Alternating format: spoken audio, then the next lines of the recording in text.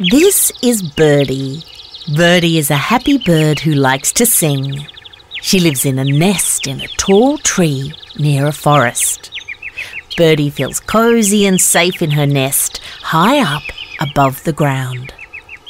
Birdie likes to catch worms and talk with her friend, Mr. Frog. Mr. Frog lives in a pond with green lily pads. One day, when Birdie was looking for worms, she heard a strange crackling and popping noise. She wondered what it was. She sniffed the air. Yuck, that smells like burning, she thought. Then her eyes began to burn and sting. Birdie flew back up to her nest and looked around. All the birds were chattering and chirping. The insects were buzzing. There was a lot of hot wind. Ooh, ooh. Come on, Birdie, we have to go. There's a fire coming, said her friends. The crackling and popping got louder and louder. Everything hissed and spluttered. Birdie didn't like the black smoke.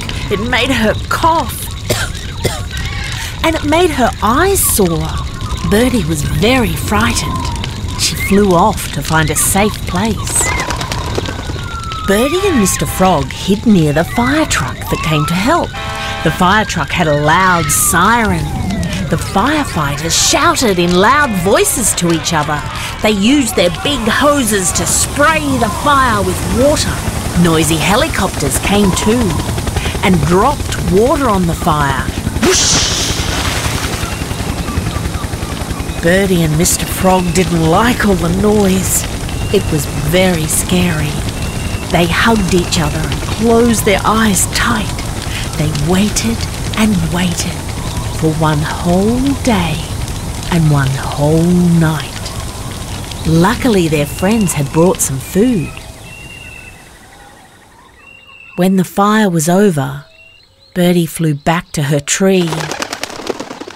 Oh no! The trees were gone.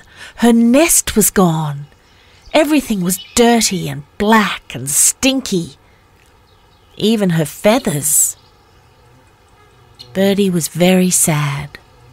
She started to cry. Lots of helpers came. They brought buckets and shovels and saws to clean and fix and plant. Zzz went the saws. Swish went the hoses. Dig, dig, dig went the shovels. Chop, chop, chop went the blades of the helicopters. Birdie didn't like all the noise. She covered her ears with her wings. Some helpers brought food to eat.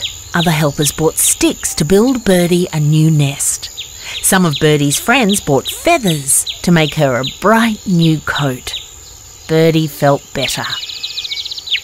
Soon the trees and bushes started to grow. The animals and birds of the forest came back. And there were happy sounds again bees buzzing and birds chirping. Birdie and Mr. Frog were both safe. Birdie was happy again.